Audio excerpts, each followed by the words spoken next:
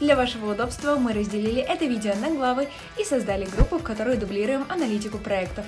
Также мы добавили ссылку на Notion. Переходите, чтобы ознакомиться детальней. Все наши видео мы делаем бесплатно и беспристрастно, поэтому, пожалуйста, поддержите нас пальцем вверх, комментарием и подпиской. Да, всем привет.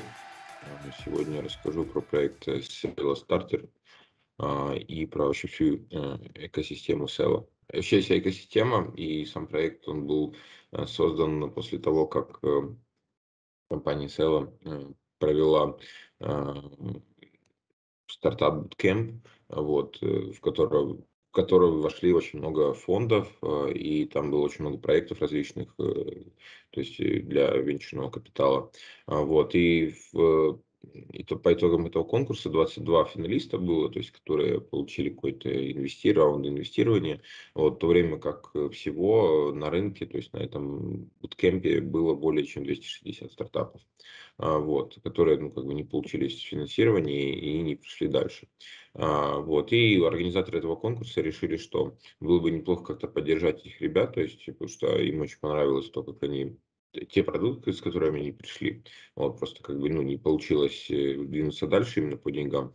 А, вот, поэтому они создали платформу Celo Starter и всю экосистему Celo. То есть э, а, Celo вообще это э, sidechain, который, в принципе, он очень похож на Polygon, то есть и тем, что здесь очень дешевые транзакции, а, ну, в принципе, на любой вообще Web3 network, то есть здесь дешевые транзакции, proof of э, stake, э, система подтверждения данных. А, вот сейчас они э, ведут, делают акцент на мобильных пользователей, то есть они делают децентрализованное приложение для пользователей мобильных телефонов. А, вот, и сейчас их токен стоит 0.21 доллар, и нужно сказать, что сейчас уже 1 а, миллион долларов всего застейкано в, а, во всех, э, точнее, да-да, 1 миллион долларов застейкан во всех э, приложениях э, экосистемы Sell Starter. То есть, на самом деле, у Sell есть вот Twitter аккаунт Sell.org, то есть где постятся все обновления по самой экосистеме, то есть где можно следить за теми, какие новые приложения выходят. Ну и конкретно вот здесь Sell Starter, то есть он показывает Э, я прошу э, прощения 1 миллиард долларов. То есть за стейк, вот 23 сентября была новость. То есть тем, что а, самые такие крупные платформы это Menta, Mula Market, UpSwap, Mobius, а. Ну, то есть пока что мы, конечно, видим, что какие-то платформы, ну, уж сильно монополизировали маркет то есть Мента он занимает 80% от TVL, а, в то время как остальные, там, то есть буквально у четырех проектов есть хоть какие-то объемы, у остальных меньше 10 миллионов. А, но, тем не менее, платформа достаточно быстро растет, у нее очень много крутых партнеров, а, то есть эм, и в частности э, проект Sila Starter, то есть э, пока что я так понял, что он активно не развивается, потому что ну, у него просто сделан очень примитивный лендинг на WordPress, даже не, не убрали это. А, вот, и в самом медиуме там была одна статья всего лишь по самому проекту Starter, а в самом Твиттере просто репостятся новости по, а, по большей части про всю экосистему, то есть э, сам, сам проект не развивается. А, вот, но, но нужно отметить, что то есть э, по, сам, по самой задумке проект Starter э, устроен следующим образом, что это, во-первых, будет одним из первых IDO-платформ на сети Cell, потому что сейчас других IDO-платформ нет вообще. А, вот, и до сих пор нет, потому что проект Sila Starter только-только развивается.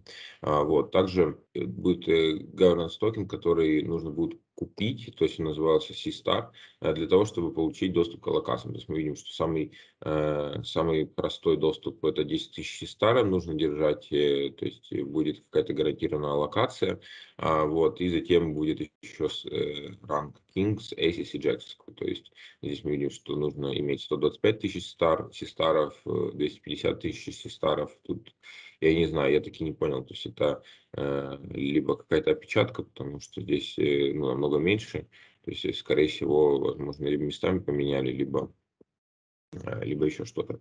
Вот, ну, в общем, как будет идея в том, что чем больше токенов ты держишь, их нужно будет застейкать на платформе, чтобы получить какую-то аллокацию, затем участвовать в IDO, IDO раундах, которые будут проходить на, на сети Sell. То есть, как я понял, что у Sell такая статья, вернее, такая тактика, что они привлекают те проекты, которые не смогли там запуститься, не смогли привлечь привлечь VC э, из э, других фондов э, свою как бы экосистему Sell, тем самым они пополняют копилку проектов, которые едут на сети Sell, а, вот, и помогают им собрать деньги, то есть тем самым привлекая новый комьюнити к себе. Вот, потому что сейчас ну, на рынке, то есть борьба, борьба идет именно за внимание со стороны пользователей. А, вот, то есть сейчас на Sell Starter у них есть приложение, где можно застейкать токены, вот, пока что только стейкинг доступен, вот сейчас перезагружусь еще раз. То есть вкратце о том, как вообще заехать на SELOStarter изначально. Э, вам нужно будет зайти на проект selostarter.net, э, подключиться к сети MetaMask, и вам будет предложено э, поменять сеть. То есть, ну, либо вы можете это сделать вручную через MetaMask бит, либо просто там в MetaMask вам будет предложено добавить сеть Sela, вот, и вы ее просто добавите и законнектитесь к кошельку. В принципе, как я это делаю сейчас. Вот, все, я подключился. А, вот. И затем а, есть также Sella Bridge. А, он доступен по а, ссылке bridge.most.earth. А, вот здесь вы можете поменять токены с эм, эфир, эфирной сети, эфир майонета на Sella майонет. То есть здесь вы можете заехать сюда через этот gateway вот, и начать пользоваться, в принципе, приложениями э, самой сети. Вот, перейдем к стейкингу, то есть здесь пока что очень примитивный функционал, то есть где можно э, застейкить просто 100 Star и получать APR пока что 46%. А вот, возможно, в будущем, когда уже будет сам доступный стейкинг, у вас э, будет возможность э, получить большую аллокацию за счет того, что вы больше настейкали. Вот, но пока что это вот как бы тот максимум, на который работает сеть Села. Вот, ну, то есть есть также а, обозреватель, который доступен по ссылке explorer.seller.org, где можно посмотреть все свои транзакции. А, вот. И, а, в принципе, также твиттер-аккаунт э, seller.org, то есть где можно посмотреть все обновления по сети. То есть здесь у них, допустим, есть даже seller представлен на бирже FTX, э, то есть в качестве дериватива, то есть там можно такого. Вот. В принципе, на этом все. Всем спасибо. Да, Влад, спасибо тебе большое. Значит, сегодня я более подробно расскажу про проект NFTX. А проект, если у вас есть э, определенное количество дорогостоящих э, NFT, вы можете привлечь ликвидность к своей коллекции. Вот. Ну и также, получается, NFTX помогает токенизировать ваши NFT, и вы можете получать доходы от yield фарминга NFT размещая их эм, в таких вольтах. Вот, то есть за то, что вы размещаете а, свой токен NFT-шный, а, вы получаете взамен ERC20, который можете затем э, стейкать в пуле. Вот, за что получаете затем доходы от фарминга вот, в токенах данного волта, в котором вы разместили. Также, если у вас э, нет NFT, вы можете купить ERC токены определенного вольта, вот, а затем застейкать их и так, точно так же получать комиссию от фарминга. Ну и кроме того, вы можете из Волта купить NFT-шку вот, за токены Волта и затем застейкать ее. вот. А, собственно, здесь есть вкладка, где можно купить а, собственно, токены на SushiSwap вот, и продать их. По каждому вольту они здесь представлены. Так, значит, ну это вкладка, а, опять же, для стейкинга, где мы можем стейкать как наши NFT-шки, в определенный вольт, так и предоставлять ликвидность. Дальше я более подробно остановлюсь на создании вольта. Для того, чтобы создать вольт, здесь мы прописываем а, адрес контракта, вот затем имя вольта, здесь мы уже сами выбираем, и символ токена, а, который должен быть не больше 6 символов в длину. Затем мы нажимаем Review, вот, значит, дальше появляется кнопочка «Создать вольт». У меня здесь уже заранее подготовлены материалы. А, значит, у нас есть вольт под названием GetBit Bunnies. Вот символ токена Bunny. Вот, затем появляется такое окно. Здесь у нас идет информация о адресе вольта. А вот затем э, можно ли туда добавлять дополнительные NFT-шки. Вот, а также э, возможность вводить э, рандомную NFT-шку и э, определенную какую-то из этого вольта, который мы создаем. А вот затем здесь мы прописываем комиссию за, э, соответственно, за то, чтобы ввести nft и вывести ее.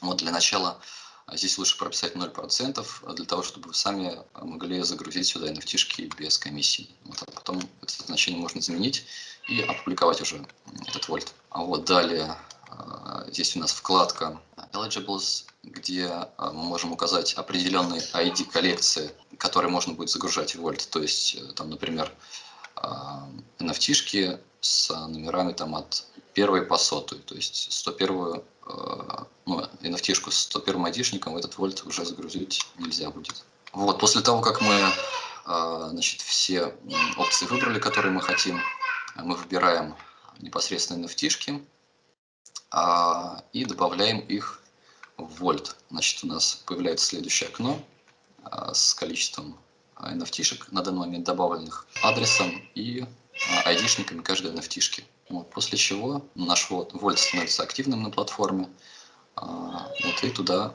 а, могут заливать ликвидность. За каждую NFT полученную вы получаете в свой кошелек ну, токен соответствующий. То есть у нас это токен бань. Каждая NFT одна nft соответствует одному токену. Вот так, если есть вопросы, задавайте. Так, хорошо, Леш, спасибо. Видимо, вопросов нет. Давайте перейдем дальше. И дальше мы переходим к Владу. Всем привет. Э, так, сегодня расскажу про проект Force Trade и, в частности, его airdrop, как он проходил. В принципе, здесь airdrop, как и в предыдущих проектах, о которых я докладывал, проходил в мае, в то же время, когда сам проект эм, зарелизили на CoinMarketCap.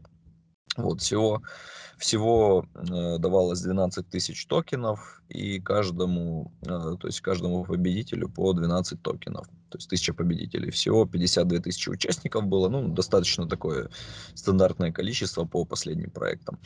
Вот, что нужно было, тут э, немножко список меньше, чем обычно, то есть это подписка на аккаунте в Твиттере, Telegram официальный, их э, добавить токен FOG, то есть Force Trade, в watchlist, вот, и твитнуть о airdrop ивенте, то есть они такой эффект эм, эффект снежного кома запускали, поэтому, в принципе, и довольно успешен был airdrop. Вот. И дальше они уже сами выбирали пользователей. Информацию, как они это все выбрали в открытом доступе, пока что, по крайней мере, не нашел. Вот. Но я думаю, все было достаточно честно, потому что ну, CoinMarketCap участвовал в этом. Вот. Далее у них, да, довольно такие средние сообщества, то есть это в Twitter 61 тысяча читателей и Telegram 32, то есть, ну, нормально. Вот, и стандартно после, после того, как прошел airdrop, цена токена упала ну, в несколько раз. Вот, то есть был где-то 0.3-0.2 на пике, когда это все дело появилось на CoinMarketCap, и после уже сейчас около 0.3. Вот, то есть и дальше снижалось.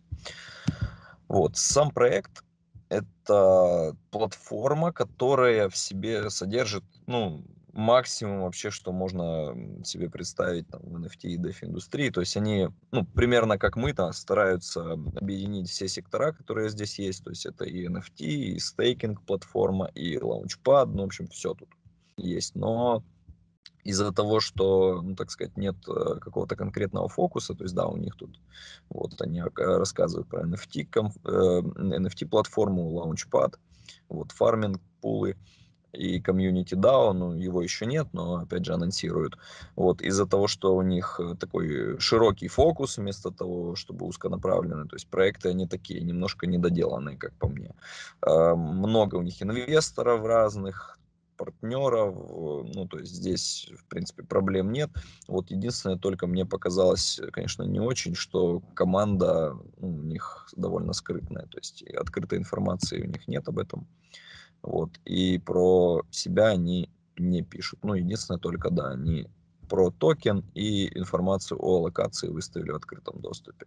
Вот. И про команду, ну, вообще нет ничего конкретного. Вот это ко мне, как по мне плохо. Вот далее их э, подпроект это, собственно, стейкинг. Вот здесь много разных э, пулов, э, можно сделать стейк, но выглядит если честно, чуть-чуть коряво, потому что, ну, как-то, ну, огромная такая вот штука вылазит, и тебе нужно переходить сюда, потом проверять API, вот. Но при этом мне понравилось по поводу impermanent loss, ну, типа, что этот пункт вынесен отдельно. Ну, то есть это довольно удобно посмотреть, насколько есть у тебя возможные убытки. Вот. Но для того, чтобы свернуть, да, нужно переходить вниз. Это не очень удобно. Вот. Ну, здесь там стандартно TVL показывают, инфо, ну и можно посмотреть всякие э, цены и так далее. Вот, лаунчпад дали. Э, лаунчпад, ну, выглядит не очень, потому что тут только один проект был. Вот, и, собственно, это их какой-то партнерский проект, он уже закончился, то есть public sale все прошло. Вот, э, и, ну, собственно, посмотреть особо ничего нельзя, то есть это ну, просто вот прошел лаунчпад, все. И как бы NFT-шку тут выдают. Вот. Э, более интересный у них по NFT проект, но э, маркетплейса, но здесь э, тоже есть нюансы. То есть я пробовал и ну, с, уже с присоединенным кошельком, то есть ну, купить NFT-шку, то есть, ну, как-то же, по идее, должно, была, должна быть э, возможность купить NFT, если это NFT Marketplace, вот, но при этом здесь э, такой функции нет. Вот, они пишут, что здесь должна быть специальная инструкция, вот, э, как ее купить и после как-то добавить в, э, собственно, в коллекцию, вот, но купить нельзя. И, как по мне, ну, то есть это, это супер хреново, потому что ну, вы показываете, что у вас что-то есть, но при этом ключевая функция не работает. Вот здесь должно быть вот в дашборде, собственно, отображаться, ну, что, что куплено. Вот. Но ну, когда оно не работает, то есть смысл сюда заходить, то есть я после того, как первый раз сюда зашел, здесь ну, ничего не работает, я второй раз уже не зайду. Вот, то есть смысл релизить такой проект в сыром виде я не понимаю, если честно. Вот. Но у них, видимо, какая-то своя, атмосфера на этот счет, поэтому вот как-то так. Вот. И опять же DAO, но оно здесь показано, но не открывается, так как еще даже в разработке, может быть, нет. Вот по сравнению с остальными проектами. Вот, в целом все. Если есть вопросы, отвечу дополнительно. Да, спасибо большое. На этом все. Всем большое спасибо и хорошего дня.